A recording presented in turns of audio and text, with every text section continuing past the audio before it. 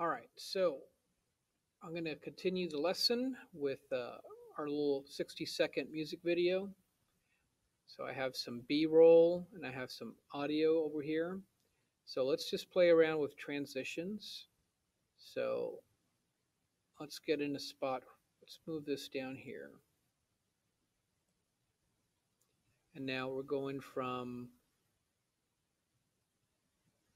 sunrise to kaleidoscope thingy and to some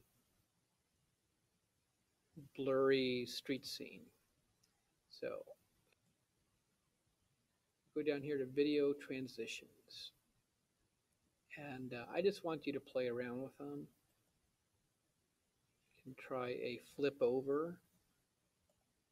So what I did is I clicked on it and I dragged it over and put it where the two clips meet. And you can see there's a little bump there.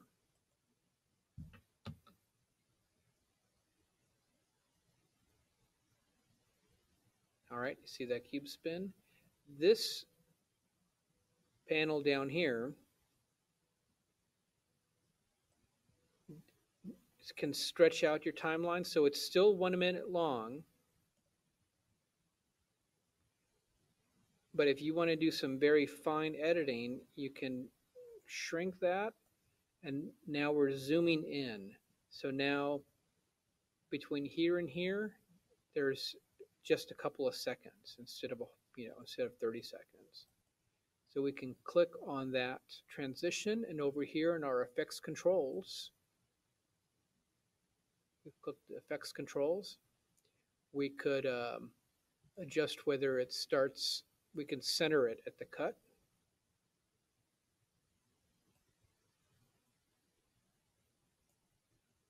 It'll look like that.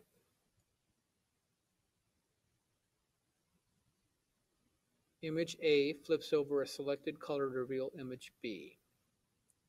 Duration is one second. So let's make it two seconds. Let's make it go really slow. So you saw I just stretch that out.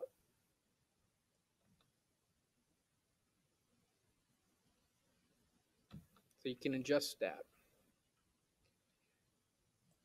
So that's a transition, and you can add them just about anywhere.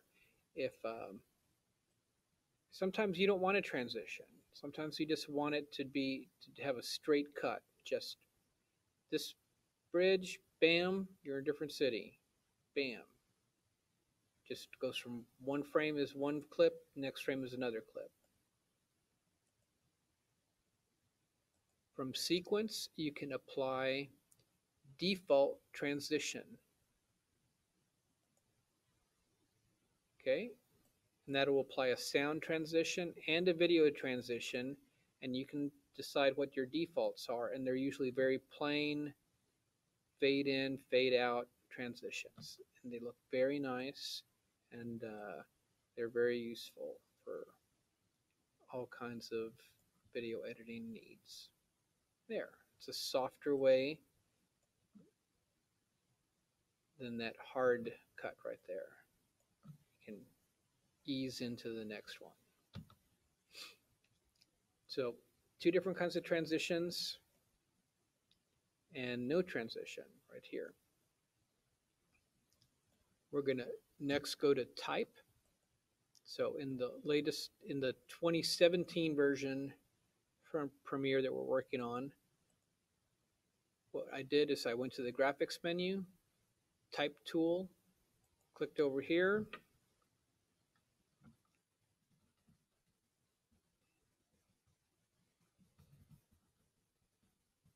I just typed something. Selected it all. And on the right hand side, it basically is a it's a word processor. So you can make your type huge, you can shrink it, you can go to this selection tool here, move it up, you can change the font on it,